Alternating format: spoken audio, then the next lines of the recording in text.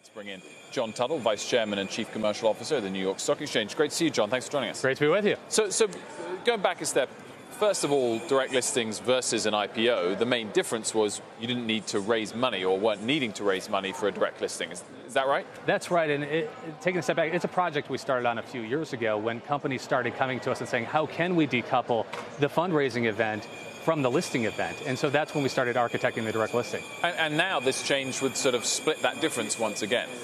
It would, and so we're allowing two things. So we filed a proposal for rulemaking with the SEC, which would do two things. The first, it's going to open up the direct listing option to a broader range of companies, so giving them the option to, to pursue that path. The second is for those companies that choose to tie a capital raise to their direct listing, they'll have that opportunity as well. So I realize that this has been something that has been in the works for a couple of years, but how much of a tipping point have we hit this year given the results or, I guess, the performance of companies that have gone public more traditionally? So it's been a mixed bag for companies that have gone public this year. You've seen some tech companies that have come out a little bit earlier in their life cycle perform well. You've seen some companies that have come out a little bit later in their growth cycle perform not as well.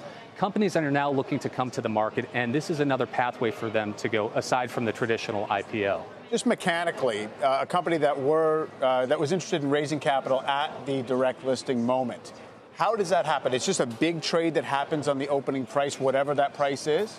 Great question. It's very similar to the direct listing we have now. In a current direct listing, a lot of the investors, employees, current owners of the company are selling their shares to the public. In Slack, that opening trade was a $1.6 billion first trade.